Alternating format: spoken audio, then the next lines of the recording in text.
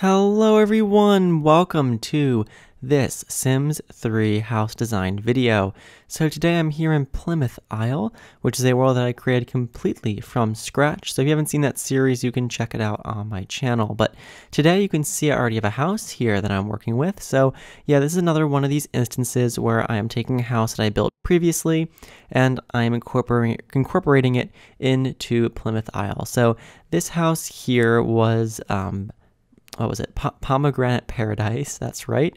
So yeah, this house was Pomegranate Paradise, which I built like late 2016. I'll leave a link in the description to the original video if you want to see me build this house, you know, in the first place. But basically, in this video, the reason it's a little bit shorter than usual is because I am just you know, refreshing the house and kind of modifying it so that it fits in with the world and is kind of more up to date um, with how I build houses now. So, like, the first thing you may have noticed is I added closets to the bedrooms. So, you know, all the bedrooms will have closets. Uh, this house ends up having four bedrooms and four bathrooms, I believe. And yeah, and has a garage, and you can kind of see the car in the driveway there, though I do change that. But uh, the main thing that was kind of funky with this was the lot. So, you know, placing a house that was built on a different lot onto this lot, which kind of has some interesting typography. Typography. I was trying to use a fun word there, and I think I really kind of screwed it up. But anyway, it's kind of some interesting typog topography. Topography. There you go. Topography. It's interesting topography. Whatever you know, it is. It's kind of a unique lot. So I decided, you know, it, it, this house can work on it. So, you know, I decided to do some tweaks. I removed the funky fence, which you may have noticed at the beginning. And on the uh, left side of the house, I end up kind of making a little walkout basement area from the garage. So, you know, it, that works out. So, yeah, and it kind of conforms to the terrain a little bit better, the way I work it out. So, yeah. And this house is built on lot number 31, which is in the town center. We're right next door to the previous house, which was Main Street Manor. And this house is basically like right across the street from the library, or it's like right by that, right by the library in the world. So, uh, yeah, it's a kind of a, a, central location. And of course, if you want to download this house, there'll be a link in the description below so you can download the house and place it in Plymouth Isle. And of course, there'll also be a link to download Plymouth Isle in the description below as well. And yeah, also a link to a lot map. That was the other thing. Yeah, there's a link to a lot map as well, so you can see which lot 31 is. But yeah, uh, the main changes to the house happen on the exterior. So whether that be the terraforming, which I've already kind of done, for the most part, you can kind of see I did the walkout basement. And then also the color, I changed the stone texture and I changed the siding color. And then also the landscaping, I changed the landscaping. I changed like the color, like the wood texture and all the windows and doors as well. But yeah, I mean, the main change is on the outside. I mean, of course, the house still ends up looking roughly the same. I did end up having to move the door to this front upstairs balcony to the other bedroom because of the closet I added. And then you can kind of see, it's hard to see in this view, but that door is kind of blocked by the roof because the roof is like kind of clipping with the balcony. Don't worry about it. It's fine. It's mostly decorative anyway, so it's, it is what it is. But yeah, don't don't pay too close attention to that. But anyway, the, for the inside of the house, it was mostly fine. You know, um, like the last house that I kind of renovated for Plymouth Isle, which was Waterfront Getaway. That one that I kind of redid the inside a lot more because I wasn't super happy with it. But for this one, I decided to keep it mostly the same. Um, right here, you might have noticed the colors kind of changed a little bit in this section. Um, I off camera, I just pulled some colors from a website called Design Seeds that I really like that has like different color swatches and stuff. And that's where I got this color for the house. So yeah, it's kind of like a minty greenish blue, like a seafoam kind of color and I thought it was kind of nice, you know, kind of fun. I wanted something a little bit brighter because I was considering making it kind of like a you know a very like um like desaturated light color. But i thought you know what? We'll go for a brighter color. Because you know this house was red originally so i thought why not why not go for something kind of also fun but in a different way. So I went with the blue, and you can see I think it's kind of cool, um, or it's like a blue green, you know. So I kind of uh, placed that on the house. You can see I'm just basically going around and changing all the red siding to blue. It's not that exciting, but I think it, it's the main thing that kind of changes the look of the house. You know, when you see it, it's like oh now it's a different color. So yeah, and I also used stone from Ambitions as well, and to replace the stone that I was using before. It just gives it you know, a slightly different look and feel to it. So, yeah. anyway, just going through doing that, changing up all the siding, you know, just takes some time to do that. So, you know, working my way around the house. I think I'm almost done here though. So there you go. Anyway, that's the transformed outside color. I was going to change the roof. I was considering like a dark green roof, but then I was like, no, we'll stick with the gray. I think the gray works pretty well. And right now is when I go through and change all the windows. Um, so yeah, I mean, I know this video is kind of probably less exciting than when I build houses from scratch because this is just a lot of recoloring things that are already there. In fact, that's a major theme at this house. But you know, you know, it's it's it's I, I like I like including some of my older houses that I really like in the world. And also, you know, honestly, it saves some time as well because I can just kind of go through, make some changes, and I don't have to build from scratch. And I really like this house. You know, same with like, I mean, the houses that I've included in the world that I had built previously and that I make changes to are all like some of my favorite houses, and I wanted to have them in the world. So, yeah, this was one of them. I really liked this house back when I built it, and I still really like it today. And so I thought it would be a nice candidate to bring into this world as well. So yeah, you can see right now I was I wanted to get some stairs there, but they really wouldn't go in. So I was like, you know, whatever, whatever. I gave up. So it, there's no stairs there. But yeah, just I also changed out all the railings and stuff as well. I had the University Life um, railings in, but I changed it out to be the base game ones instead. And what's happening here? Let's see. I don't know exactly. Oh, yeah, I was trying to fix that roof that was like clipping with the door there, but there was no elegant way of doing it. So I just left it. You know, it's fine. It looks better that way than trying to fix it. So, yeah. Oh, also one floor plan change I did is I put an archway from the front entranceway into the living room because previously you'd have to go through the dining room to get to the living room, which was kind of weird. So I added an extra archway in, which definitely was an improvement. Here I had to flip around this entire bedroom so I could fit the closet door in on the other wall. Um, of course, seems kind of silly to rearrange the whole bedroom so I could fit a closet in, but the closets are important to me.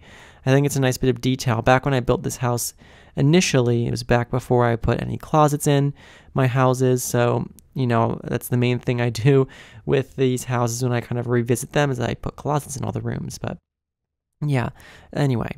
Um, I also removed the car from the driveway. I put it in the garage. There used to be two cars for this house, but I just got one now and the house ends up costing about 230,000 simoleons, so I think a pretty good price, you know, um, for what it is. It's a four bedroom house and it's like a fancier kind of house, you know. So yeah, I thought it was fitting. Uh, and here, just going through recoloring some more things. I'm not entirely sure what. I think I'm going to do some adjustments now to the inside. So you also added a door to that little balcony because previously in the house there was no door to that balcony. It was just straight up a balcony with no door. So I put a door to it, even though it's still not really going to be used. It at least looks functional, you know. And yeah, here just doing some slight adjustments to the living room and to the little entranceway there and the dining room. I've kind of straightened out the rugs because um, I sometimes I like to put the rugs on a slight angle, although they were a little bit too angled, so I kind of straightened them out a little bit so they're a little bit neater. But yeah, just going through, I'm just like doing very slight adjustments, as you you can probably tell. You know, nothing too drastic here that I'm changing. I also did change the wood trim on all the wallpaper as well. Again, you know, this is a very subtle change for this house, but you know, for all the different rooms, I just kind of went through and kept the same like wallpaper itself, but just changed out the wood uh, trim uh, you know, for the crown molding and baseboard. So just doing that here, it kind of, I think, looks a little bit nicer than like the plain white is a little bit more wood grain to it. But, you know, this is kind of one of those very subtle, like nitpicky changes that I make. Uh, you know, but anyway, in the kitchen, I changed out the wallpaper to be the kind that I use now in most of my houses that has like the chair rail and like the tile below it and the paint above it. And I changed the kitchen color scheme from red to the greenish kind of color that matches the outside of the house. So I changed the tile on the walls.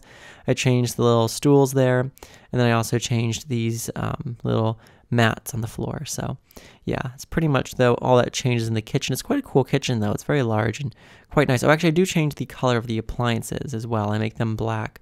So yeah, and I also put tile there on top of the fireplace that's in the kitchen, which is kind of unique to have. But yeah, it's doing that, changing out the colors on the appliances. But other than that, that's pretty much it for the kitchen, I believe. So yeah, you know, just some small tweaks here and there. Actually, I changed out that mat there. I made a smaller one. So yeah, and I think that's pretty much it for like the first floor like adjustments. So I changed the color of those chairs there. I think that's pretty much it for like first floor adjustments. Um, I made some adjustments upstairs here in the hallway. You know, nothing too crazy. but you know, recoloring plant pots, like very simple things. And oh yeah, there I just kind of moved the plants and kind of removed that extra art easel. But yeah, in the closets, I uh, you know put some lighting in. I don't, I guess not yet, but oh yeah, this uh, the bathrooms I redid the wallpaper in here as well, and also like some of the other small things. So you know, just some very slight, subtle changes basically. Like in this bathroom, I changed the tile grout, and I changed the walls. So there's tile on the walls, and you know, really simple stuff like that. But yeah, just going through, doing all that. And oh yeah, there's the lights in the closets. So just getting that in, uh, you know, lighten up the closets, always good. And just adjusting the color of the clothing racks in each one so they kind of match the uh, bedrooms that they're connected to. But yeah, I think that's, you know, that's it for the closets. Very exciting. That bedroom got a little bit smaller. The two front bedrooms got a little bit smaller because, you know, I added closets in. So they were already very small, but now they're even smaller, but it's still okay. And these are like the two kids' rooms that I have in the house. And yeah, I'm also just adjusting the color of the carpeting in this kid's room and then also the carpet on the rug, the little like carpet thing, and like that poster there or that like thing on the wall. I adjusted. The attic, like upstairs, third floor area, I didn't actually do anything with. I kind of left that, I think, completely untouched. Down here, just doing the same adjustments to the uh, trim on the walls and uh, recoloring some things and stuff like that. But other than, you know, those small things, I think that's pretty much all I do with the inside of this house. You know, it's pretty a pretty simple transformation, not really a transformation, honestly. It ends up looking very similar to how it looked originally. But yeah, I think that's pretty much all I'm going to do here. It's getting some alarm clocks out and stuff. But yeah, the outside is really where there's more of a change. Um, I changed the um, I changed the wood on the uh, porches and stuff. So yeah, that's also a very minor change there as well. So yeah, just kind of doing that and I think we're gonna do landscaping probably is what what's gonna probably constitute the rest of the video. So yeah, it's got like a small rock wall here that goes um, in this little area because it was kind of steep and I thought that would kind of look a little bit nicer than having kind of the very steep terrain. So I just kind of put that in. I thought that would look nice and yeah. And then I'm also going to obviously fix the driveway here and smooth out some of the terrain in the front yard. This lot is a little bit bigger than the house sorry, this lot's a little bit bigger than the lot the house was originally built on. Um, it's probably the same width, but it's a little bit uh, deeper. This is a 40 by 20 lot, so it's quite narrow, but goes quite far back. So it's kind of a unique size. But anyway, here I'm just getting this like little um, extra like stuff for that like staircase there. The house is also quite high up as well. You can probably tell there's some stairs that like, you know, go down. It's not like a little bit of a hill. But anyway, here I'm just getting some plants and stuff, uh, you know, out and around uh, that side and then also around here just making some adjustments and stuff. But yeah just some nice plants and like the landscaping on the house before was fairly tropical since I built the house by the beach in Sunset Valley so I had like a bunch of palm trees and things. So you know of course I kind of removed all that and now I'm kind of coming through and making it a little bit more New England-ish, kind of matching, you know, the rest of the world a little bit better. That's kind of the idea here with the kind of re-landscaping.